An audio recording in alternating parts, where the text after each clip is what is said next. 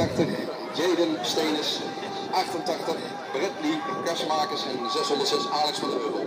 En wie pakt de koppositie? Volgens mij is dat nummer 632. Zo te zien is dat Bart.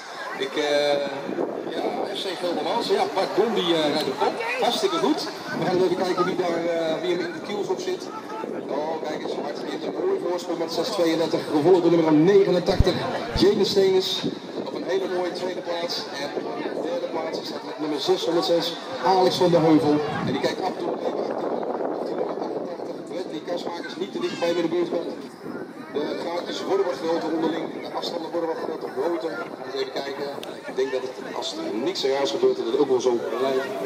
Nou, hele, ja, nee, dit wordt niet zo, eh, heel spannend meer voor de juryleden. Want het is gewoon nummer 632, Bart Blok die daar als eerste over de fiets gaat.